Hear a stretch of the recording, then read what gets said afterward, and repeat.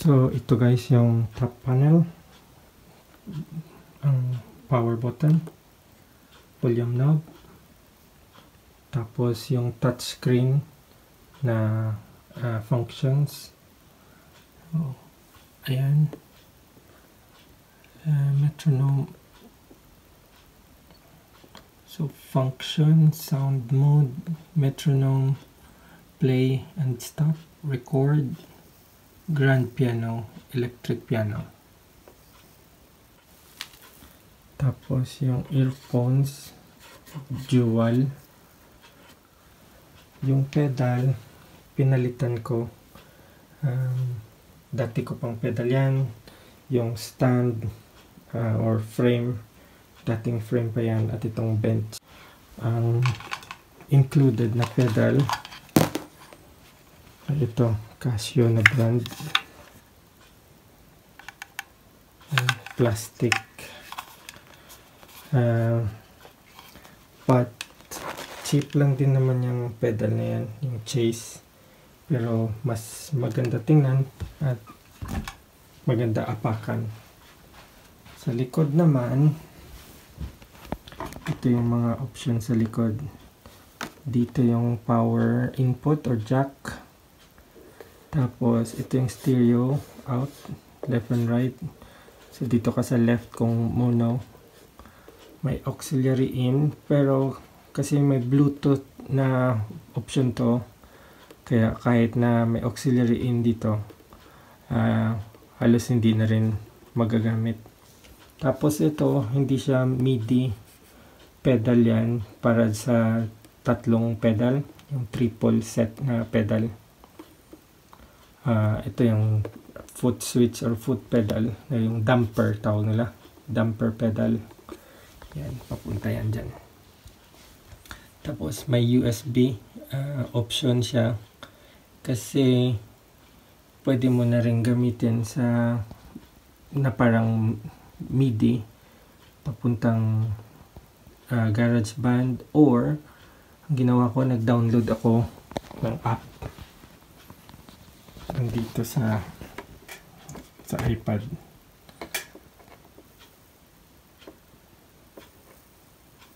Uh, ito. Itong app. Cordana app. So, yan. Yan. Cordana Play. Tapos, pwede mong gamitin to as remote para dito. Instead na gamitin mo yung touchscreen. Hmm. Pero, hindi yan gagana hanggat walang connector. So, kailangan mo nitong USB na ikakabit sa likod. At the same time, kailangan mo rin itong converter camera adapter USB ng iPad. So, hindi hindi to included sa unit itong cable na to. Hindi rin to included sa iPad. So, separate to na binibili. Um, sige, try natin na. So, ayan, na-connect na.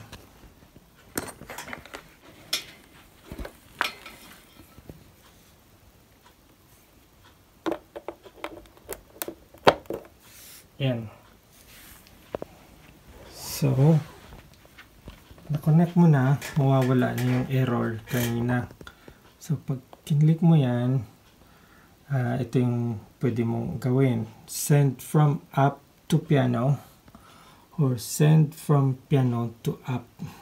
Okay. Yan. So, tone.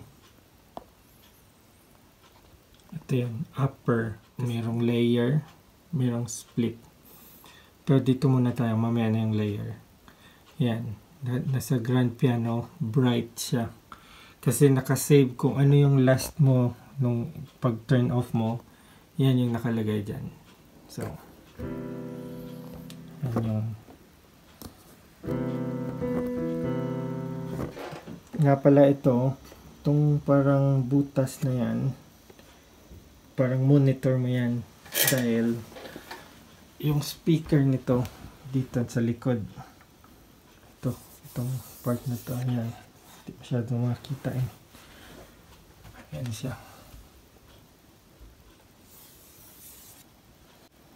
Yan, yung speaker na yan. So, itong speaker na to, para sa audience pag nag-perform ka. Tapos, yan. Pwede din pala to na battery operated. So, pwede mong dalhin to. Mag-basking. Uh, double A battery lang. So, ito na. Balik tayo. So, may grand piano. Pag kinlik mo yan, yan yung grand piano. Ang volume natin sa ngayon is andito lang. Kasi, malakas to siya depende. Kasi touch response.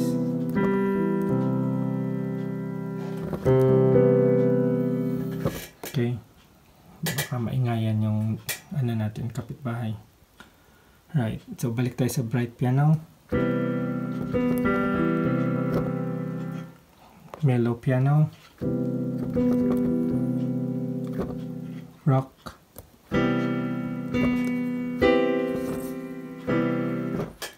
Tapos, jazz.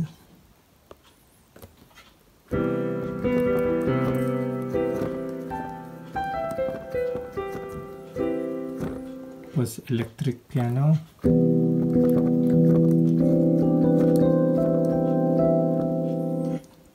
Digital.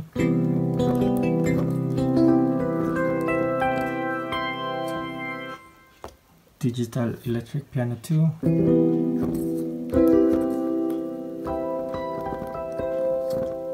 Sixties.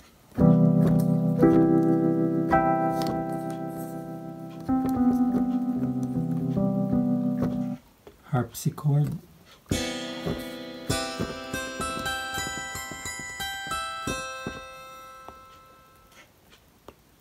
Vibraphone.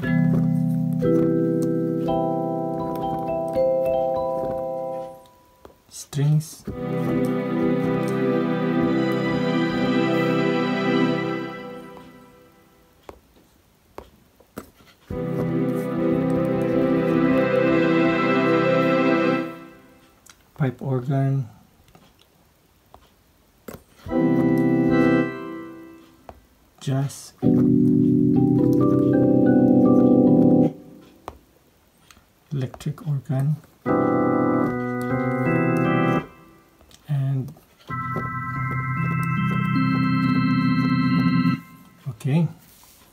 Parang yan yung idea dyan ngayon kung ililayer mo turned on mo yan, magiging dalawa.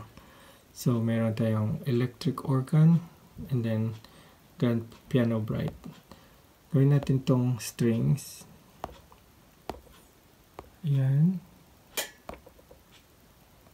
Tapos, ito gawin natin bright piano. Ayan.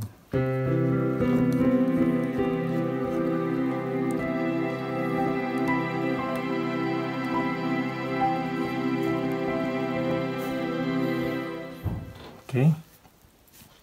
Tapos, lahat ng function na yan, pwede mo rin gawin dito na walang iPad. Ito lang ang gagamitin mo na controller. Okay, so, let's go back. Um, that's only for the tone.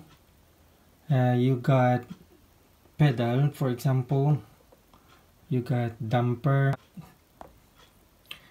This is the part that I like to try but I haven't done anything yet as well so you got string resonance I need to research more on this one damper resonance damper noise so you can sort of put some sound to it so that it will be more that's why it's called acoustic simulator. It will sound and feel like an acoustic piano. Key on action noise. So we'll try that probably in in the future. And then key off action noise meaning when you release there will be like a certain sound that you can hear it's too early for me to fiddle with all these functions and features. But it's it's there. You can adjust this to your own taste or own preference so that it will this one will sound and feel like a real acoustic piano right? I'm gonna go back. Keyboard and sound source normal heavy. So the touch response at the moment is um, normal. My son loves it. We've tried this one.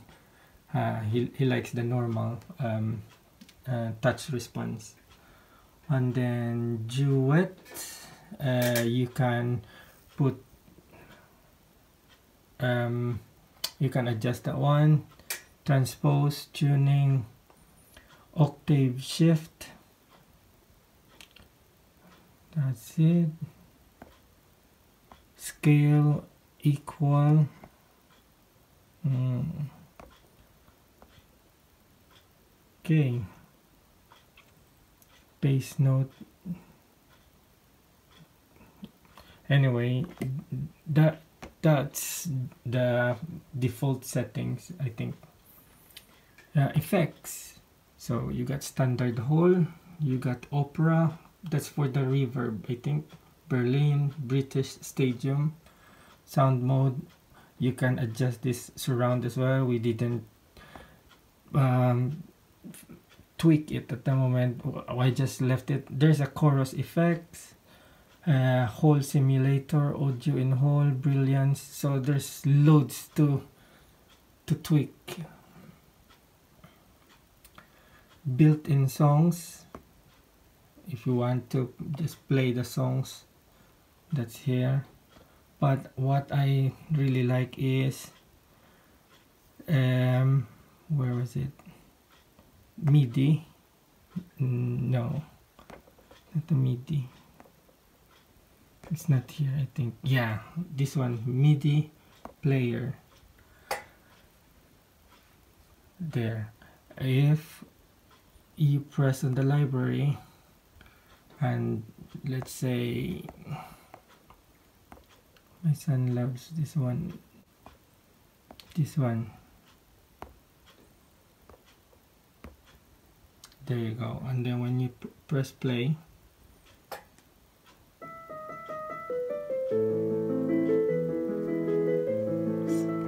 so yeah. You can follow the song using this MIDI but also you can use this one the score viewer. So music library it's the same. Let's go to that one this one there. So you can also play using notes there. Okay? Okay so there's tons of features for this keyboard um, there's audio player description of built-in songs who's the composer blah blah blah. There's loads there. Um, the bluetooth features that i said um, earlier is you hold the function and then i think it's what key i think this key for to activate and then this key to pair. It's all on the manual and then about the touch response and everything you hold the function and then you, it's the upper keys here for the touch response etc and tuning I think.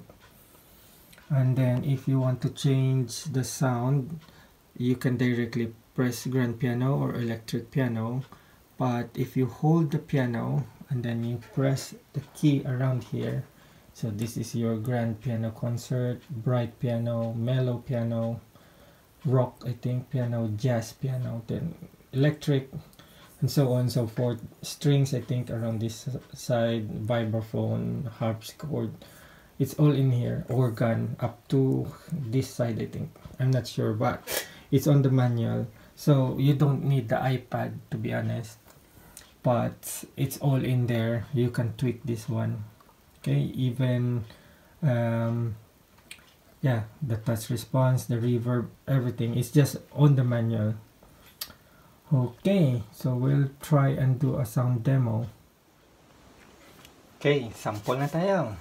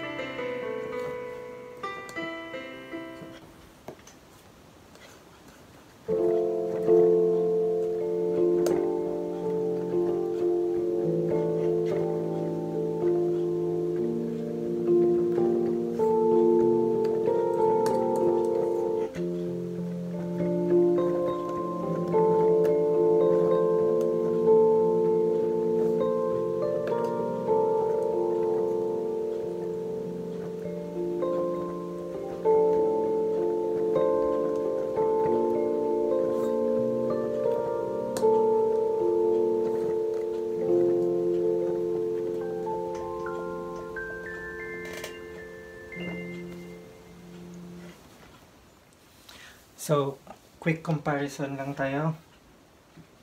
This was the old keyboard of my son. It's also Casio. It's CTK 1150.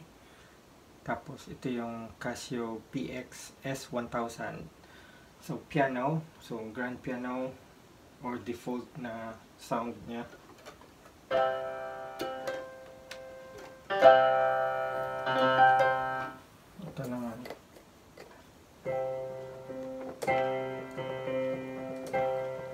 touch response nak saya electric piano.